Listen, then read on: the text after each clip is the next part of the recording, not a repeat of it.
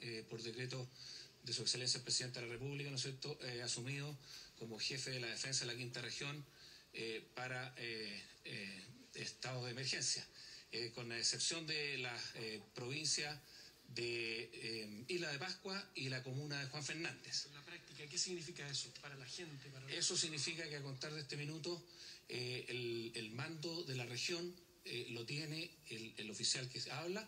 Eh, el- el- en este minuto hemos eh, ya eh, salido con eh, alrededor de 500 personas integrantes de las Fuerzas Armadas, Ejército, Armada y Fuerza Aérea, asimismo la Policía Marítima, la, la gente nuestra, a poner el orden que requiere las provincias y la región de Valparaíso eh, que ha sido sobrepasada por los desmanes ocurridos en la tarde del día de hoy. ¿Habrá toque de queda, almirante? El, eh, yo, si me, me permiten eh, un minuto, eh, de acuerdo al decreto supremo 473 del 19 de octubre del 2019, donde se decreta el estado de excepción de emergencia en la región de Valparaíso, con excepción de la provincia de Isla Pascua y de la comuna de Juan Fernández, a partir de este momento asumo el mando como jefe de la Defensa Nacional de la región de Valparaíso.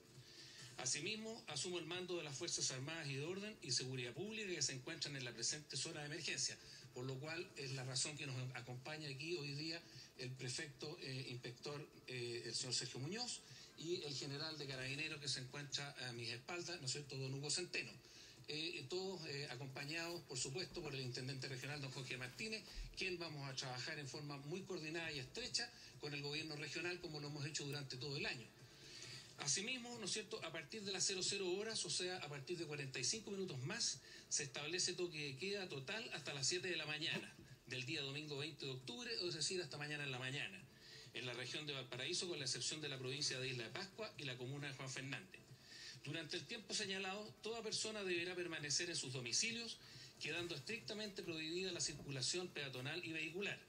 Se exceptúa de tal prohibición aquellas situaciones de emergencia que involucren presencia de personal de bomberos y asistencia pública de salud, así como policial y militar, u otras situaciones que ameriten tal excepción. En los casos anteriores, como en otras circunstancias que ameriten excepción a la restricción decre- decretada, se deberá solicitar oportunamente salvoconducto a la autoridad policial o militar permanente. Eso significa que la persona que necesite por alguna eh, excepción o emergencia puede concurrir a la comisaría más cercana a solicitar el salvoconducto respectivo. Toda persona que transgreda lo dispuesto en este bando será detenida y puesta a disposición de los tribunales de justicia. Difúndase de inmediato a la comunidad a través de los medios de comunicación social y asimismo infórmese a las fuerzas de orden y seguridad pública para su conocimiento y cumplimiento.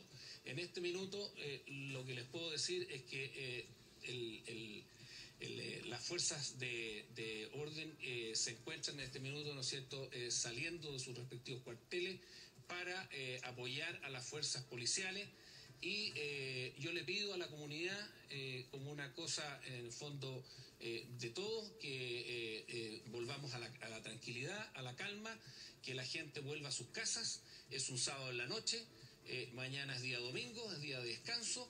Eh, va a haber que hacer bastante trabajo mañana en las ciudades, en todas las ciudades de nuestra región. Eh, vamos a- un mural de Bolívar. Uno se le llena el alma y el espíritu de patria. ¿eh? Y Bolívar es reconocido, no puede, no puede un verde patria como, como Almagro eh, desestimar la cosa con una brisita bolivariana. Mire, Almagro, vamos para un huracán bolivariano, yo. Un huracán bolivariano, huracán de los pueblos, no lo detiene absolutamente nadie.